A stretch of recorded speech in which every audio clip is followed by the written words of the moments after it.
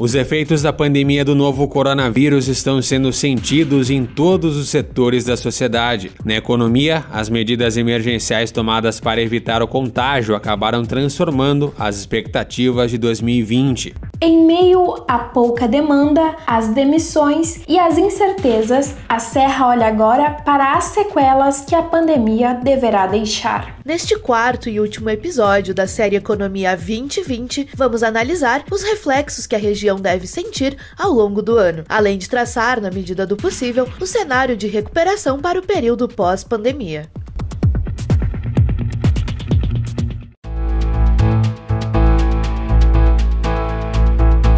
Economia 2020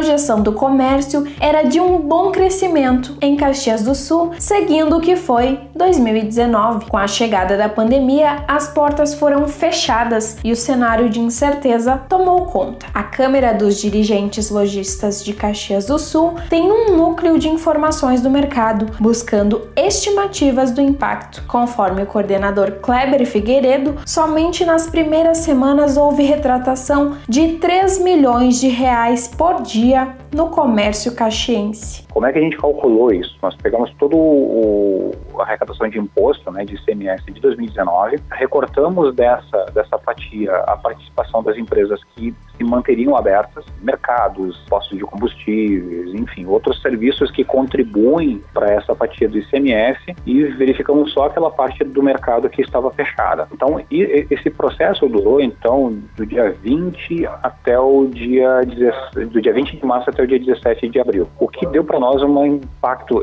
ao aproximado de 140 milhões. Figueiredo reforça que ainda não é o momento de projetar retomada em 2020 parte da resposta que talvez a gente vá deixar de ficar devendo é a questão da, da retomada. Se a gente consegue ainda esse ano fazer alguma coisa para retomar e pelo menos empatar, né, não ter não ter queda, vamos dizer assim. Eu, eu te confessar que eu não acredito muito nisso, tá? Eu, eu acho que vai ser um ano de prejuízo, a gente vai ter uma queda nesse comparativo com 2019. Ou de repente no máximo, assim, no melhor dos cenários, a gente vai, vai, vai não vai ter crescimento. Na indústria, o cenário também é de aflição, principalmente pelo setor ainda estar em processo de recuperação da crise de 2015. O fechamento do comércio em alguns momentos da pandemia prejudicou ainda mais a situação das empresas. A retomada efetiva do setor industrial da região depende ainda de São Paulo, o polo econômico do país. Esse é o entendimento da Associação das Entidades da Classe Empresarial da Serra Gaúcha. O presidente em exercício, Marcelo Piazza, explica a perspectiva do setor. E queira ou não queira, todo o Brasil, principalmente a, parte industrial, a gente depende muito do comércio da região sudeste, São Paulo, Rio de Janeiro, Minas, enfim, eles é que, que ditam né, a, a economia, que é, não adianta, são os estados mais, mais industrializados, enfim, uma população grande. Mas, em meio à espera, um ponto já é certeza para a Piazza. O setor econômico passará por uma reinvenção. É, na verdade, toda economia ela vai se reinventar. Né? Ela vai ser uma economia antes do, antes do coronavírus e depois do coronavírus. Né? Uh, tanto na questão de, de vendas, de, né, de girar a economia, como a forma como ela vai se comportar, né? como a venda vai se comportar. Que a gente vê muitas empresas, muitos CNPJs aí salvos pela venda online, prestação de serviço, malharia, enfim, toda a indústria que conseguiu ir para online está conseguindo ser, ter uma receita.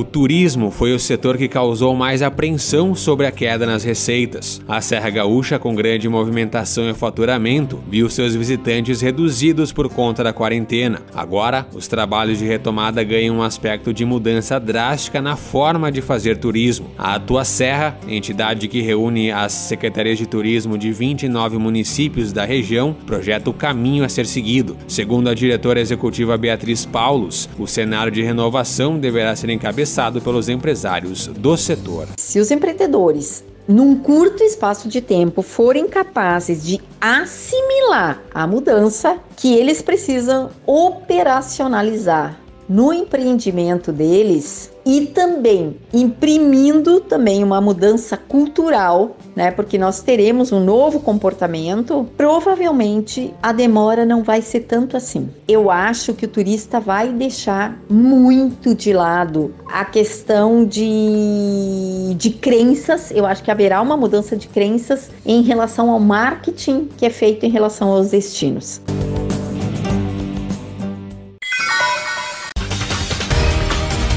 Com o distanciamento controlado e as restrições no setor do comércio, o comportamento do consumidor também foi afetado. Um dos vice-presidentes da FEComércio RS, Daniel Amadio, cita os impactos econômicos no setor e explica como a pandemia alterou o comportamento do lojista e do próprio consumidor. É, esse ano a gente não vê uma perspectiva de crescimento. Provavelmente o resultado do PIB brasileiro vai ser negativo, o desemprego vai ser muito alto. O que a gente notou também na questão da pandemia é a mudança de perfil do consumidor e do lojista. Ah, Nota-se que o consumidor ficou mais voltado a ter um trabalhar com e-commerce, porque não quer mais sair de casa, e o lojista se viu obrigado a trabalhar mais com e-commerce, porque não pode abrir sua loja. Além das adaptações, as entidades ligadas ao setor conquistaram auxílios importantes junto aos poderes públicos. Daniel Amádio, que também é presidente do Cindy Lojas de Bento, afirma que o sindicato trabalhou para o reconhecimento do banco de horas e da extinção provisória do aviso prévio de férias. Mesmo assim, ele afirma que esse ano deverá ser riscado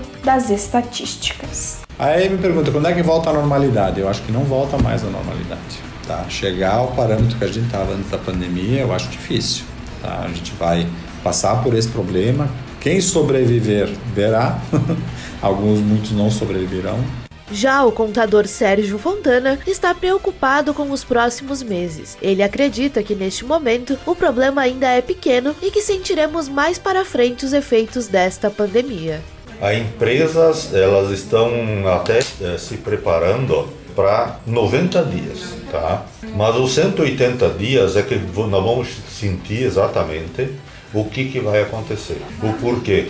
Se vinha num ano bastante linear, começou o ano, o empresariado, o comércio, a indústria, o serviço, ele tinha uma perspectiva de que a coisa começava a tomar uma linha ascendente. E a gente teve esse baque da pandemia do Covid-19 que botou todo mundo por terra.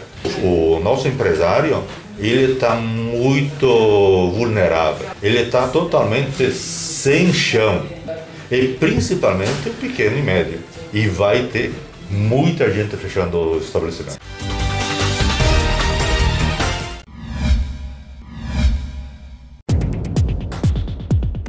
Ao longo de quatro episódios da série Economia 2020, analisamos a economia na região da Serra Gaúcha, no período pré durante e pós-pandemia. Vimos que, apesar dos dados atuais e das projeções apontarem um prejuízo sem precedentes, muitas pessoas têm buscado alternativas para driblar a crise. E é diante da união de setores, entidades públicas e privadas que os gaúchos buscam passar por esse momento tão desafiador. A série Economia 2020 foi uma produção dos acadêmicos Eduardo Abuco, Gustavo Conferai, Matheus Sugari, Morgana Moraes e Edna Brasil, elaborada para a disciplina disciplina de Laboratório de Telejornalismo e Radiojornalismo da Universidade de Caxias do Sul. Coordenação do professor Marcel Boquese. Todos os episódios da série podem ser conferidos em freespeech.com.br e no canal do YouTube da Free Speech TV.